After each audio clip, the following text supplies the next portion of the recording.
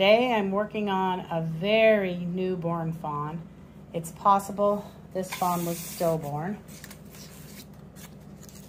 So we have to start by taking all the pins out.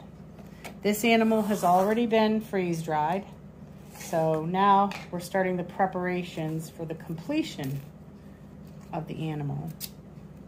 And the first thing we do is pull out all the pins take off all the tape. You can see he's just on a little piece of styrofoam. So I'm gonna try to get these pins out of him to release him. There we go. Oh, that one's gonna be a little bit harder.